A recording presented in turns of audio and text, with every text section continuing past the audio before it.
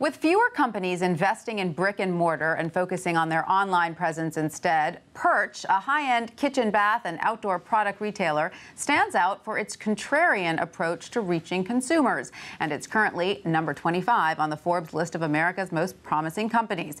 Here to tell us more is Pirch CEO Jeffrey Sears. Jeffrey, thanks so much for being with us. It's a pleasure. So tell us what inspired you to start Pirch. It, was, it came out of a personal experience, is that right?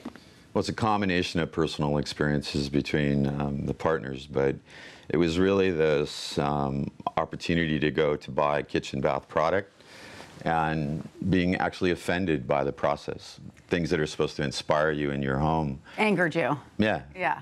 Uh. And so now you have showrooms where people can have hands-on experiences. Tell us what kinds of experiences shoppers can have.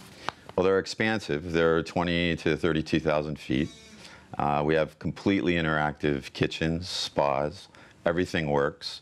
You can try before you buy, and it's really about um, asking the guests to be inspired but um, empowered at the same time. And then when they leave, assured that they've seen what's possible. So how interactive is it? Can I bring my dirty clothes and do my laundry and try out a machine? You could bring your 600 cotton count sheets and... Uh, I love it. Uh, you could. Can I bring a bathing suit and try out a shower head?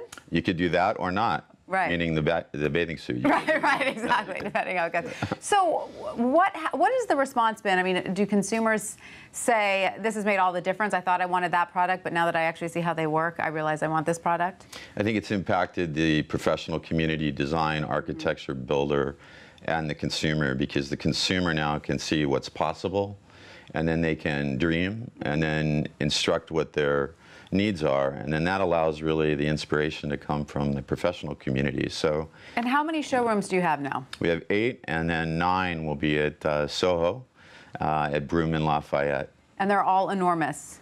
uh, they're large, so, but they're large for a reason because right. there's a lot to do. So how do you curate with so many kitchen and bath products out there? I mean, it's endless. How do you choose the products that you highlight in your stores?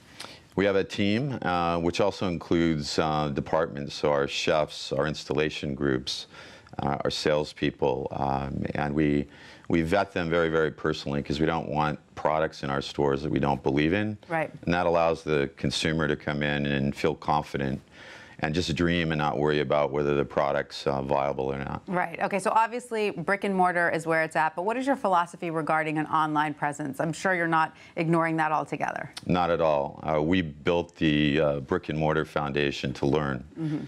And uh, what I don't believe in is a digital strategy. I just think digital is part of your overall vision and strategy. So we'll be launching that in uh, April of next year. All right, Jeffrey Sears, Pirch CEO, thank you so much for coming to talk to us today. It's a pleasure. Thank you so much.